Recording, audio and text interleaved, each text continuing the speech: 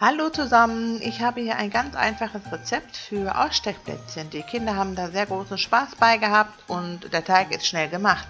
Was wir dafür brauchen sind 500 Gramm Mehl, 125 Gramm Zucker, 250 Gramm Margarine, ein Päckchen Vanillezucker, ein Päckchen Backpulver, eine Prise Salz, ein Ei, etwas Zitronenaroma, Mehl zum Ausrollen, Puderzucker und Deko und natürlich unsere Plätzchenausstecher.